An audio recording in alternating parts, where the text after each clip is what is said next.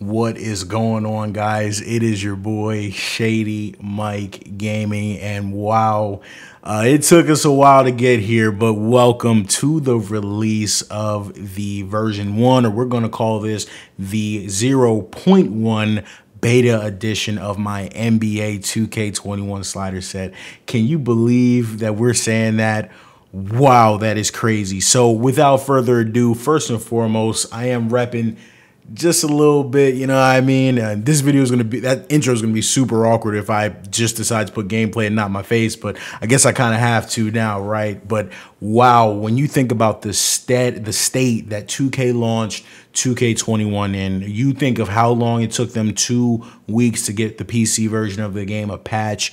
Um, depending on when you're watching this, Friday, they actually dropped an update that greatly improved the gameplay for the game. I'm, I'm just, wow, to really get here, this this year was tough. This has been one of the hardest and most frustrating years to make sliders for this game. They have it even remotely playable. Um, it was hard to work on 2K21 when I felt like I had a better game uh, in 2K20 sitting right here on my desktop. But we are here and I want to talk a little bit about the process and you know everything that went into this set. I want to talk a little bit about the channel um, you know, and what to look for in the future, the next gen version of 2K. Um, this is just going to be me talking with you guys. And uh, so let's get right into it.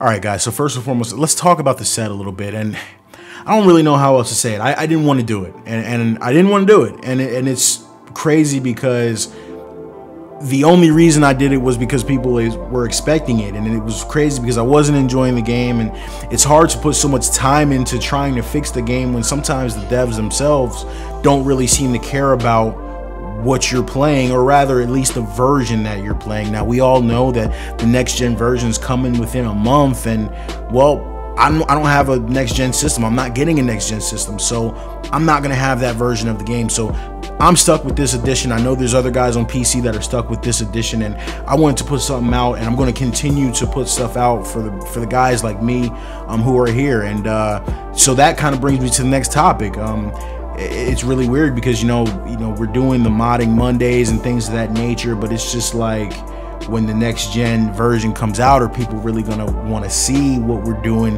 when the current gen version of the game? I don't know. So it kind of puts me in limbo but at the same time anytime i can do something to help this community and you know everything this community has meant to, to, me for years.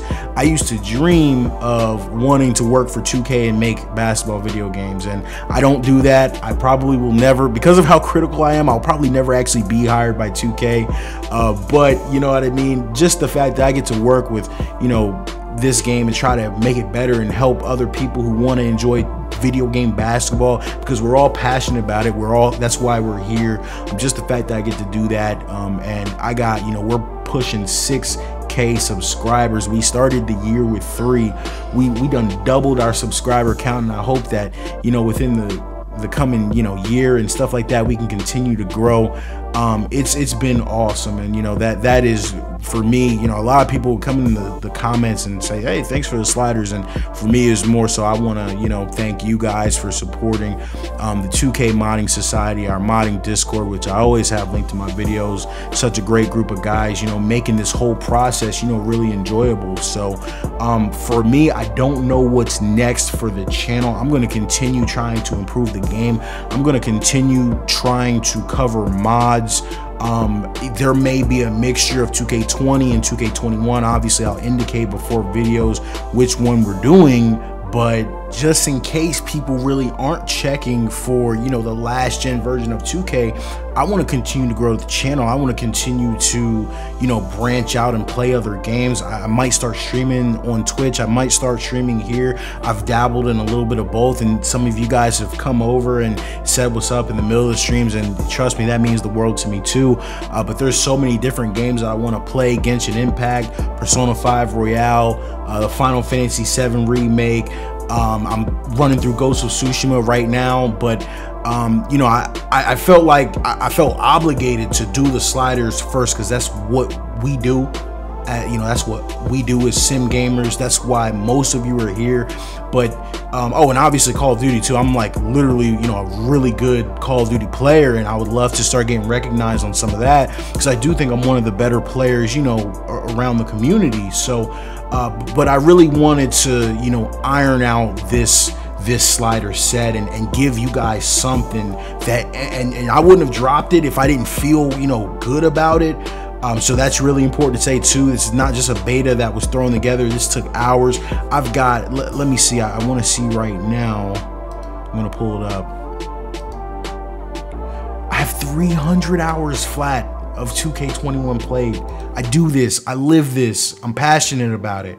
Um, it's just sometimes I also want to do other stuff. So, you know, hopefully, you know, people, you know, who are just here for 2K definitely understand that when, you know, they start to see different stuff on the channel, or maybe that'll just be on Twitch. I haven't decided yet. With the release of this slider set, I'm going to keep it short, guys. I just want to say thank you from the bottom of my heart.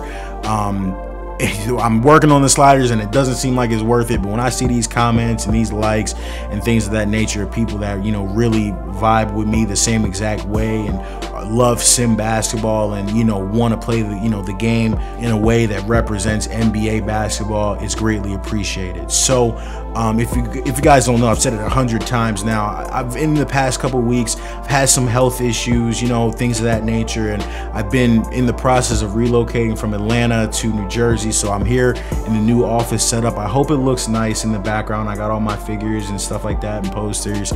Um, so I'm gonna be making content on the channel, guys. Uh, I'm gonna keep mixing it up. I'm gonna hopefully, you know, bring some new stuff to the channel, and we'll see if any of it sticks. But guys, I'm gonna keep it short. Let it roll there let me know in the comments.